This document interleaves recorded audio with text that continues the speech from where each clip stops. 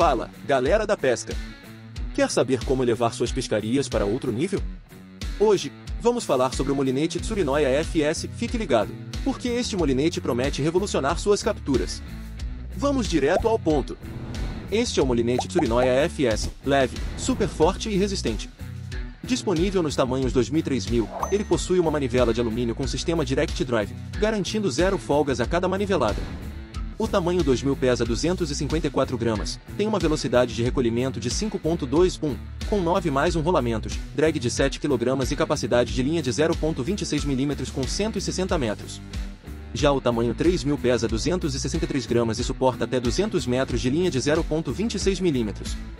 Além disso, o Tsurinoya FS vem com um carretel de alumínio anodizado, carretel chanfrado para facilitar a saída da linha, e rolamentos de aço inoxidável, tornando-o ideal para pesca em água salgada.